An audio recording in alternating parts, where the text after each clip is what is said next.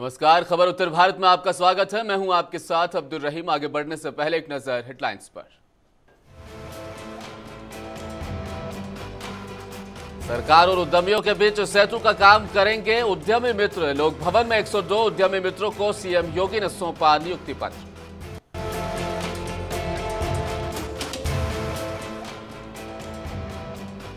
मिर्जापुर में तीसरी बार होगी गंगा नदी पर बने शास्त्री पुल की मरम्मत। साढ़े सात करोड़ का बजट मंजूर।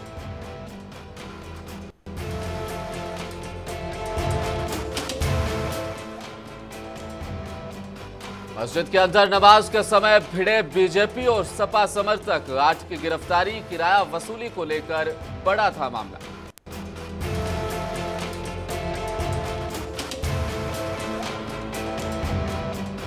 और बाराबंकी में बैरहमा, गर्म तेल में जला दी नवजात। बच्चे की उंगलियाँ दूध नहीं पी रहा था। पाँच दिन का नवजात। माँ ने समझा, भूत प्रेत का चक्कर।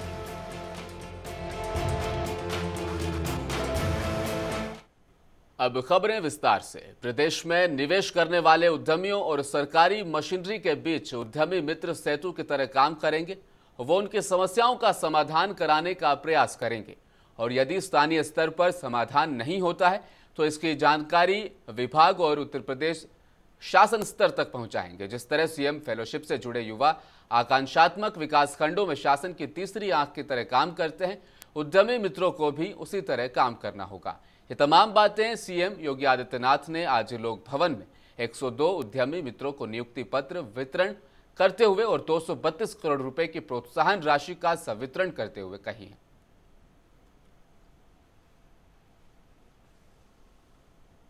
ये उत्तर प्रदेश के नागरिकों के मन में भाव आया है कि नहीं, जो हुआ उसको भूल जाओ। अब हमें नए सिरे से उत्तर प्रदेश को बनाना है और ये नए उत्तर प्रदेश को बनाने की प्रक्रिया है।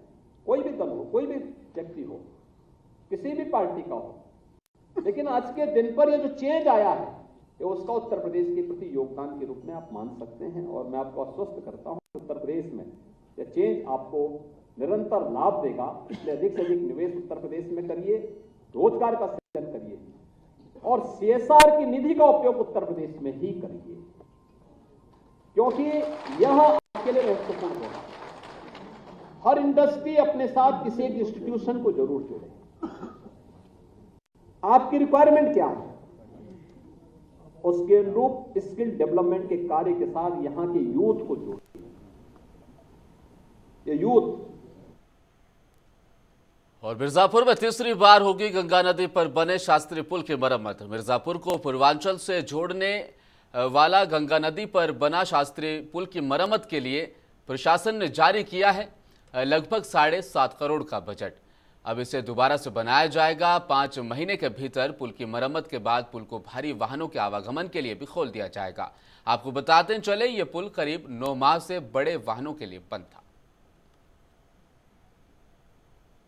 ये शास्त्री पुल के ऊपर, क्योंकि भारी वाहनों का आवागमन रोक दिया गया था। टेक्निकल टीम का ये कहना था कि भारी वाहनों को का भार सह पाने में पुल सक्षम नहीं था। इसी के क्रम में शासन से स्वीकृत कराकर लगभग साढ़े सात करोड़ में पुल की मरम्मत की जाएगी। लगभग पाँच महीने में कार्य पूरा कर दिया जाएगा। पूरे समय आवागमन बाधित नहीं रहेगा। बीच में यदि कुछ समय रहेगा तो पहले से इतला की जाएगी और ये पुल की मरम्मत होने के बाद मुझे उम्मीद है कि सभी भारी भारी वाहन जो ओवरलोडेड नहीं होंगे, वो लोग यहाँ से आराम से जा सकेंगे। कितना पीलीभीत की तीनों बार एसोसिएशन के अधिवक्ताओं ने उप जिलाधिकारी को राज्यपाल के नाम ज्ञापन देकर उत्तर प्रदेश में अधिवक्ता संरक्षण अधिनियम लागू करने की मांग की है। इसके अलावा अधिवक्ताओं ने चिकित्सा सुविधा, रोडवेज़ पास, रेल पास, आवास की सुविधा देने की भी मांग की है। अधिवक्ताओं का कहना है कि उत्तर प्रदेश में आए दिन अधिवक्ताओं के साथ कोई ना कोई घटना हो रही है, जिससे अब अधिवक्ता न्यायालय भवन के अंदर भी सुरक्षित नहीं है। और उनकी सुरक्षा को देखते हुए अधिवक्ता संरक्षण अधिनियम लागू कराया जाना बहुत ही आवश्यक है और इसे जल्द से जल्द लागू कराया जाना चाहिए। पहली मांग है समस्त उत्तर प्रदेश में एडवोकेट प्रोटेक्शन एक्ट लागू किया जाए। कई प्रदेशों में लागू है और उत्तर प्रदेश में एडवोकेट प्रोटेक्शन एक्ट लागू नहीं किया गया है। जबकि हमारे अधिवक्ता साथियों पे विगत कई वर्षों से लगातार हमले किए जा रहे हैं और उन हमलों होने के बाद भी सरकार उस पर नहीं चेत रही है और अधिवक्ताओं को उचित सुरक्षा नहीं प्रदान कर रही है। जबकि कई ऐसे मुकदमे करते हैं जिसमें हम लोग पक्ष विपक्ष दोनों होता है तो उसमें कहीं ना कहीं दुष्प्रभाव हमारे अधिवक्ताओं पे पड़ता है। ज्ञापन हमने अधिवक्ता संरक्षण अधिनियम को लागू करने के लिए दिया है। अधिवक्ता संरक्षण अधिनियम लागू करने की आवश्यकता इसलिए पड़ी क्योंकि जगह जगह उत्तर प्रदेश के संबल में जुमे की नमाज़ के दौरान मस्जिद के अंदर बीजेपी और समाजवादी पार्टी के समर्थकों में मारपीट हो गई। ये मामला रजपुरा का है। यहाँ जुमे की नमाज़ के दौरान मस्जिद की 21 दुकानों के किराए को लेकर सपा और बीजेपी समर्थकों में लड़ाई हो गई। देखते ही देखते ये लड़ाई मारपीट में बदल गई। समर्थकों के बीच जमकर लात घूसे चले। इस घटना की सूचना लगते ही फ़ौरन पुलिस बल के साथ पुलिस मौके पर पहुँची और हालात पर काबू पा लिया गया। इस मारपीट में लगभग आधा दर्जन लोग घायल हुए हैं। अब आठ लोगों की गिरफ्तारी इस मामले में की जा चुकी है। कस्बा रजपुरा से एक वीडियो जो सोशल मीडिया में वायरल हो रहा है, इसकी जानकारी प्राप्त हुई। इसमें घटनाक्रम इस प्रकार से था। दो पक्ष जो दोनों ही मुस्लिम कम्युनिटी को बिलोंग करते हैं। मस्जिद में, मस्जिद के नीचे बनी हुई दुकानों के किराए को लेकर दोनों पक्षों में कल संघर्ष हो गया, जिसमें आपस में मारपीट हुई। एक वीडियो प्रकाश में आया, जिसमें एक व्यक्ति कुछ लोगों को लाठी से भी रहा है, इस घटना का संज्ञान लेते हुए पुलिस की तरफ़ से एक मुकदमा, धारा एक सौ सैंतालीस, एक सौ उनचास, सेवन एक्ट व अन्य सुसंगत धाराओं में पंजीकृत कराया गया तथा पिटने वाले व्यक्ति की तरफ़ से धारा 307 का एक अतिरिक्त मुकदमा, जो वीडियो में पीटते हुए दिखाई दे रहे हैं, उनके विरुद्ध कराया गया। इसमें स्पष्ट करना है कि यह राजनीतिक प्रद्वंदता का मामला न होते हुए केवल दुकानों के किराए के बारे में झगड़ा था। इसमें तत्काल रूप से प्रभावी कार्रवाई करते रजपुरा थाने की पुलिस के द्वारा 10 लोगों को अरेस्ट कर लिया गया है, जिनको 307 की धाराओं में माननीय न्यायालय भेजा जा रहा है। इसमें मौके पर शांति व्यवस्था पूरी तरह से कायम है।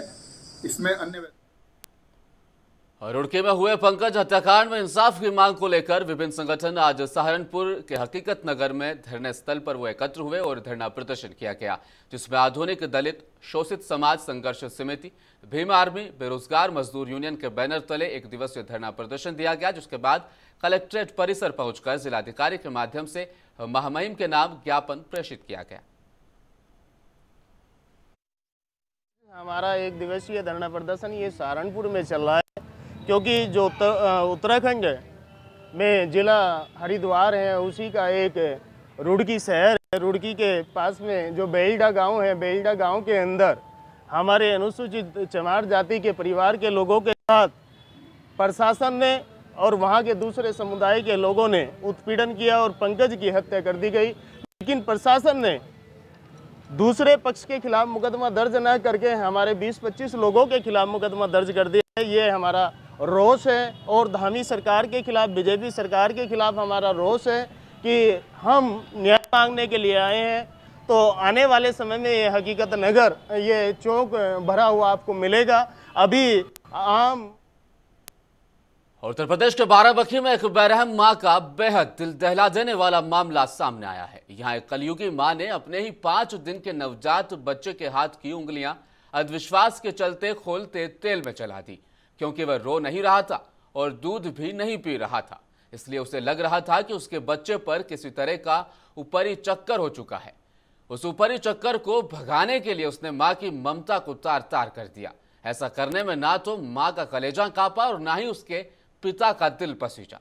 दरअसल माँ ने अपने नवजात बच्चे की उंगलियाँ गर्म तेल में केवल इसलिए चला दी क्योंकि वह ना तो दूध पी रहा था और ना ही रो रहा था।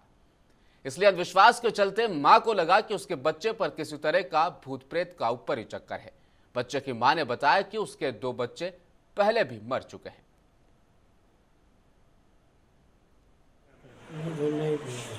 अब पीने लगा है? हाँ? बताओ देखिए कितने दिन का है बच्चा है चार दिन का। है तो क्या लगता था इनको कोई दिक्कत आ रही थी कि झाड़ फूक वाला काम था क्या? हाँ। झाड़ फूक के लिए इन्होंने किया। तो कैसे क्या क्या किया इसके साथ? हम साहब रहे पहले हम घर चले गए। उंगली कैसे जली इसकी? तेल वेल गरबा बोली। तेल गर्मा करके उसमें डुबो दिया। तो अब कोई दिक्कत तो नहीं है क्या खबर जनपद महाराजगंज के निचलोल थाना क्षेत्र की है, जहाँ एक बैंक शाखा में घुसे तीन बदमाशों ने असलहा दिखाकर लगभग एक लाख रुपए नकदी, लैपटॉप और मोबाइल फ़ोन लूट लिया। घटना सीसीटीवी कैमरे में कैद हो गई है, जिसके आधार पर पुलिस जाँच में जुट गई है। घटना के बाद से क्षेत्र में दहशत का माहौल है। वहीं बैंक शाखा चलाने वाले लोगों में भी डर व्याप्त है।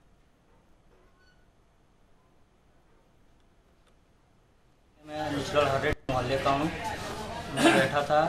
उसके बाद देखे लोग कोई इधर मतलब कोई आदमी नहीं था अंदर, वो लोग आए, तीन लोग आए, तीन लोग आए, कोई मुझसे पूछे, पैसा निकल जाएगा, हमने बताया कहाँ पैसा निकल जाएगा, और उसके बाद फिर इधर उधर देख के बाद एक एक बंदा अंदर आ गया उसके बाद दो पिस्तौल निकाला उसके बाद एक बाहर से पिस्तौल दिखला रहा था, और बोला कि पैसा पैसा बोला कि कहाँ था हम बोले पे तो पैसा निकाल लिया, मेरा मोबाइल ले लिया, लैपटॉप लेकर चले गए। देखिए, ऐसा है जनपद महाराजगंज के थाना नेचलौल से पुलिस के पास सूचना प्राप्त हुई। कि यहाँ पर एक एसबीआई के ग्राहक सेवा केंद्र, जिसको राहुल सिंह नामक व्यक्ति चलाया करते हैं, वहाँ पर शाम के लगभग चार बजे के आसपास ये जब अपने ग्राहक सेवा केंद्र में बैठे थे, तब तीन अज्ञात पुरुष इनके गेट से प्रवेश किए हैं और यहाँ से इनके पास एक डेल का लैपटॉप, एक रेडमी मोबाइल और कैश लगभग 40 से पचास हज़ार रुपये के आसपास इनके बताया गया है कि इनके वहाँ से छीन के लेके भागे हैं।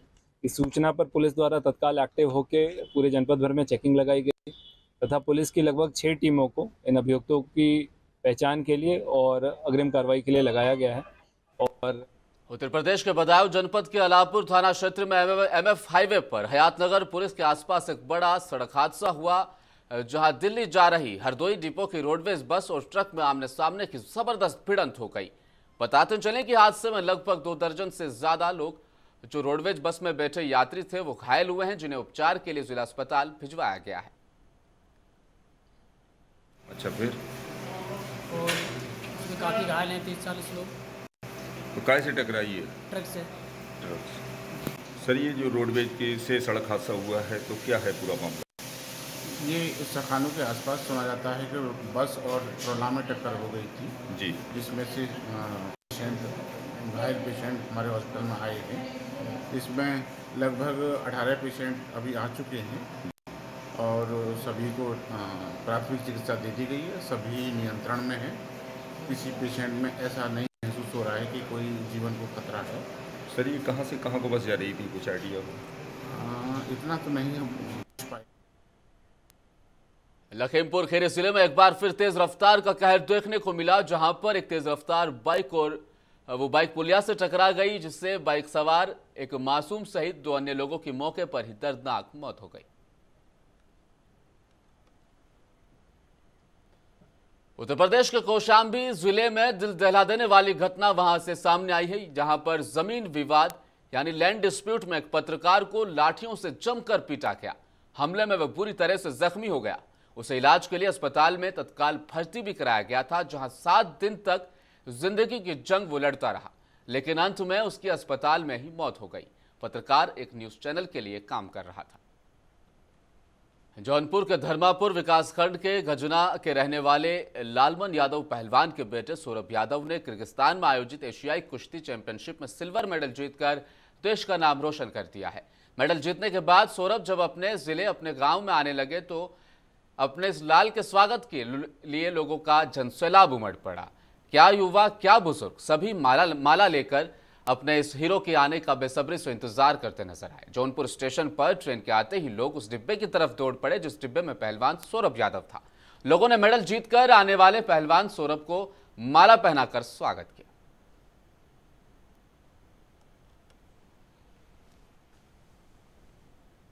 जूनियर इंटरनेशनल गए थे अंतर्राष्ट्रीय।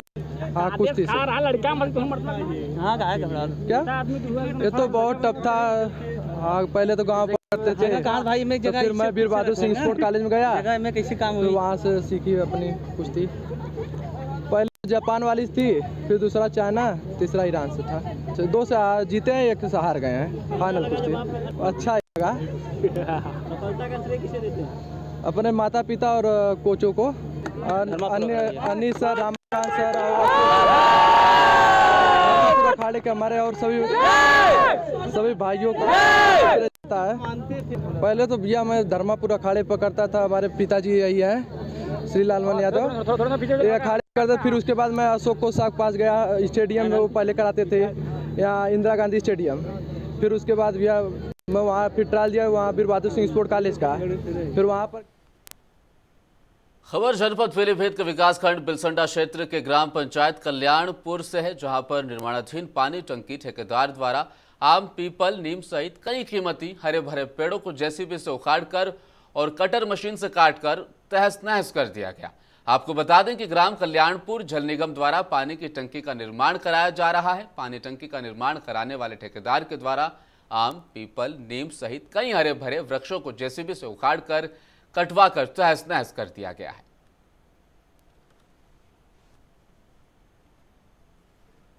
महेश यादव। कहाँ रहते हैं?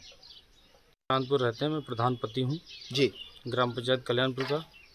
आपके यहाँ जो टंकी का कुछ मामला आया पेड़ उखाड़े ऐसा कुछ मामला सुनने में क्या मामला है? हाँ हमारे यहाँ जल निगम द्वारा टंकी बनाई जा रही है कल्याणपुर में। तो जिस ठेकेदार ने जिन पेड़ों को उखाड़ा है ग्राम पंचायत में उसने ना तो मुझे कोई सूचना दी मेरा पैर फ्रैक्चर था, मैं एक डेढ़ महीने से वहाँ देखने नहीं पहुँच पाया। तो पेड़ उसने उखाड़ के डाल दिए। उसमें ग्राम पंचायत के दिलसाद खां, पुत्र सोहराब खां, ने उन पेड़ों को काट के अपने घर पे इकट्ठा कर लिया। बाकी उनके यहाँ जो लाइन लग रही थी ग्यारह हज़ार की, उस लाइन में जो भी पेड़ आ रहे थे, हरे भरे पेड़ थे, नीम गूलड़ पीपल, तमाम आदि तरह के पेड़ थे, वो सारे हरे पेड़ कल ही काटे गए हैं। ठेकेदार ने जेसीबी से उनको उखाड़ दिया?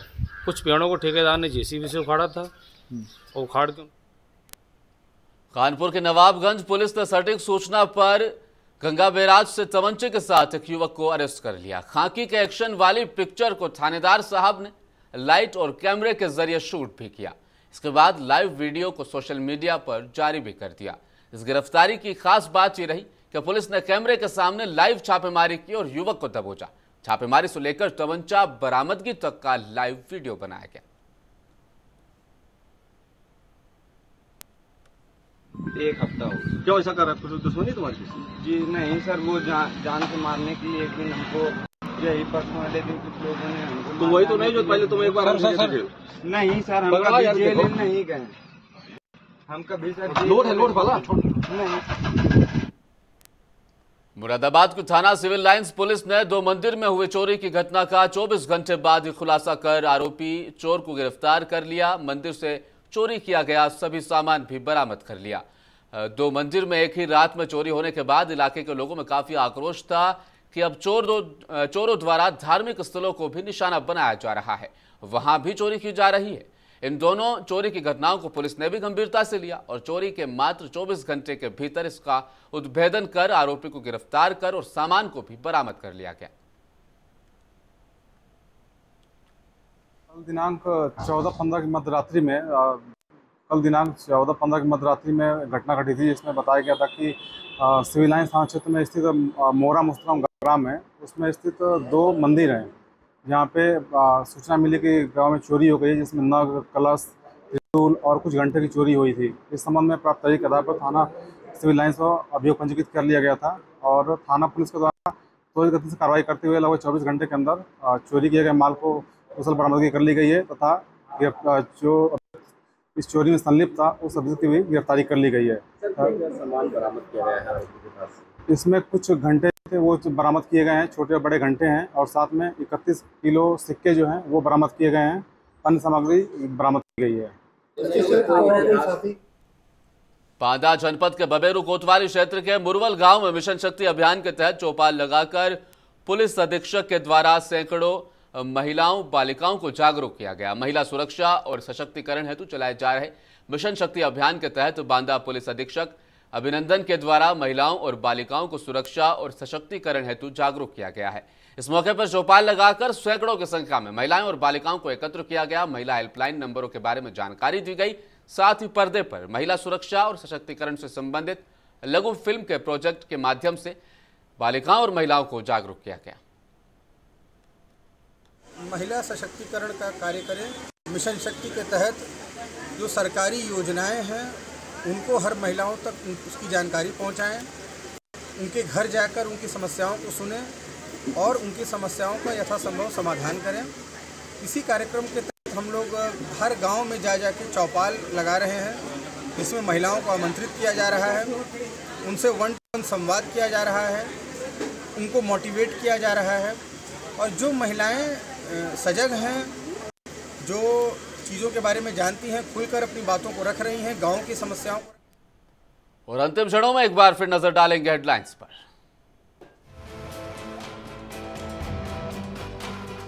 सरकार और उद्यमियों के बीच सेतु का काम करेंगे उद्यमी मित्र। लोक भवन में 102 उद्यमी मित्रों को सीएम योगी ने सौंपा नियुक्ति पत्र।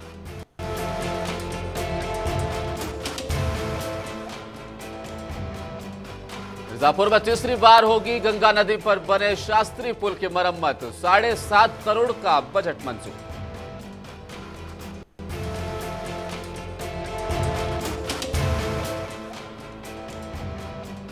मस्जिद के अंदर नमाज़ के समय भिड़े बीजेपी और सपा समर्थक। आज की गिरफ्तारी, किराया वसूली को लेकर बड़ा था मामला।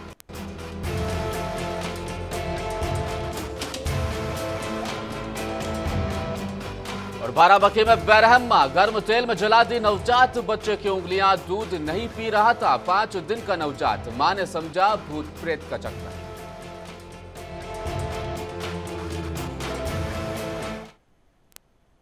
खबर उत्तर भारत में फ़िलहाल इतना ही। देखते रहिए मुंसिफ टीवी न्यूज़। नमस्कार।